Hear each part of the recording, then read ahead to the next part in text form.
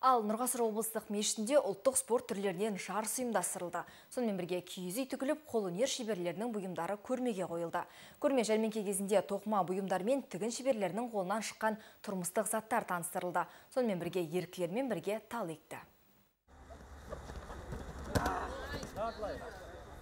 Республика күніне орай орталық мешіт алында палуандар күш сынады. Олар өзара мықтыны анықтап келушілердің назарын аударды.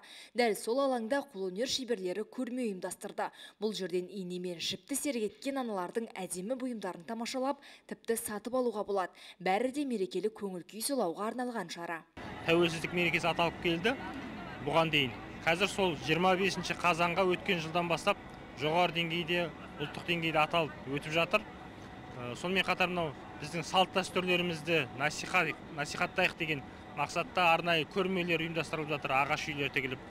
Э, сонымен қатар мынау ақсақалдардың батасын беру тұсаукесер сияқты біздің салт дәстүрлерімізді жастарға сол ұмыт болып қалып кетпесін деген мақсатта насихатталып жатыр.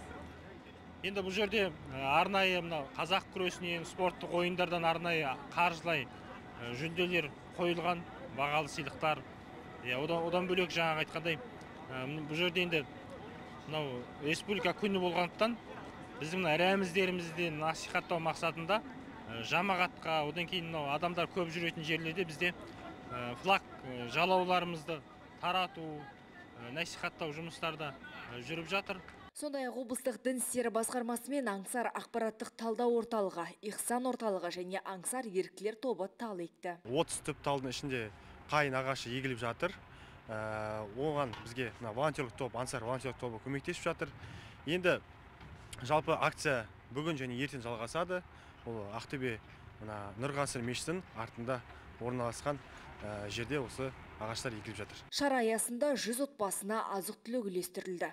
Эльмира Көшекбай, Азамат Сауханов, Ақтөбе телеарнасы.